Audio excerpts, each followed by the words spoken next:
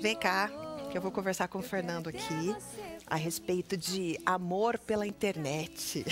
Tudo bem, Fernando? Tudo ótimo, Lu. Que prazer, que honra estar aqui, aqui contigo. Que Sempre bom, uma grande querido. oportunidade. Obrigada, Obrigado. obrigada a você. Ô, Fernando, namorar pela internet é perigoso? Eu conheço gente que conheceu o namorado pela internet e hoje tá super bem. Na verdade, a gente não tem como contestar Uhum. em falar que o uso da internet, das redes sociais, por aí vai, ajudem muito na comunicação, no relacionamento de todos nós, né? Seja profissional, seja educacional e por aí vai, inclusive nos nossos relacionamentos. É muito produtivo. É muito prazeroso utilizar a internet como uma ferramenta de comunicação.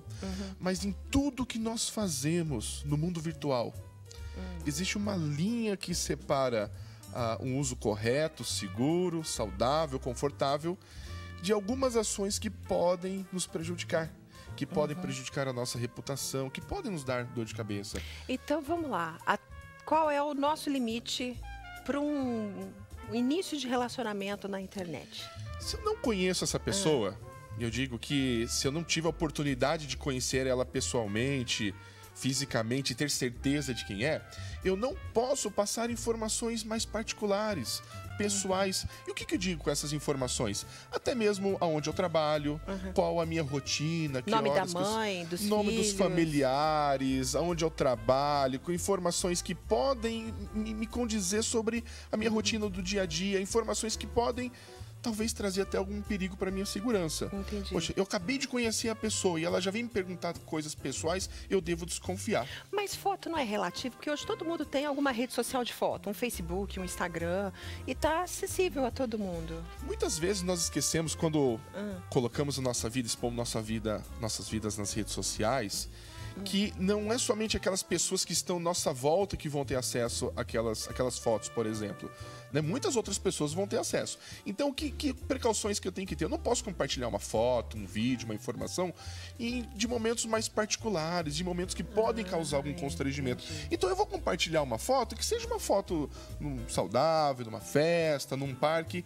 Agora, se eu compartilhar uma foto que para mim é íntima, eu até não compartilhei ela publicamente, acabei de conhecer uma pessoa e vou compartilhar com ela, ou seja, que garantias que eu tenho que essa pessoa não vai fazer um uso incorreto? E marcar o local também, né? Tem gente que compartilha a foto e coloca lá escrito assim, é, em tal lugar, tal horas, em tal restaurante. É perigoso, Olha, não é é? muito perigoso. É, alguns criminosos, eles falaram que, se depois de, foram, de serem presos e serem entrevistados, eles falaram que acompanharam o dia a dia das vítimas nas redes sociais.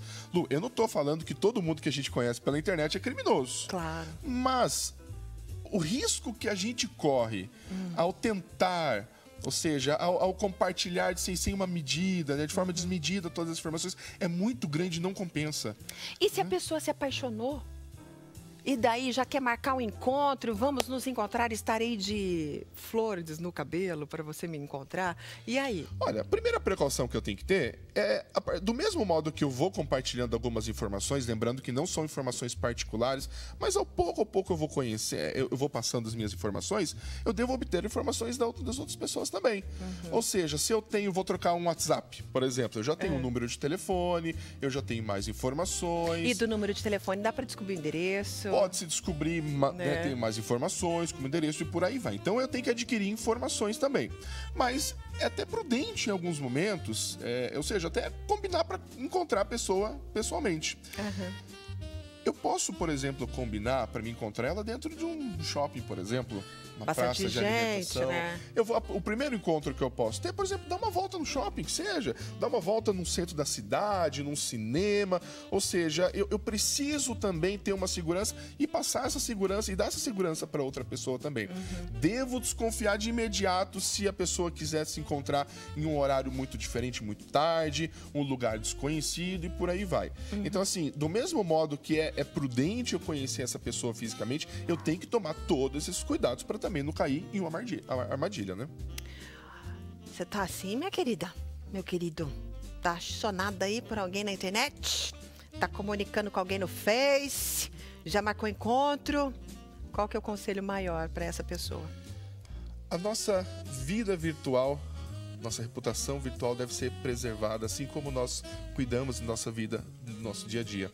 Então, devo sempre lembrar: existe uma linha que separa o uso correto e seguro, saudável da internet. Uhum. Não posso ultrapassar essa linha, não posso compartilhar e me expor, nem que seja aparentemente de uma forma privada, além daquilo do que pode causar uma. É, do que possa ser uma proteção para minha vida. Então deixa a emoção de lado aí, ó, e pensa com a razão a princípio.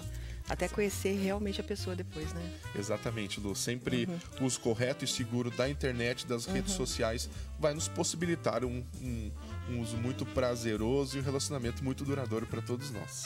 Tá? Fica a dica para você, viu, minha querida, meu querido? O que a gente quer é que você fuja das armadilhas, né? Daquilo que possa te causar constrangimento, medo e, sei lá, coisas piores, tá bom? Obrigada, Lu, Fernando. Oi, muito querido. obrigado. Imagina. Parabéns pelos cinco anos. Que seja cada vez mais sucesso. Que Amém. todas as bênçãos sejam derramadas. Muito que obrigado. bonito. Obrigada, obrigada.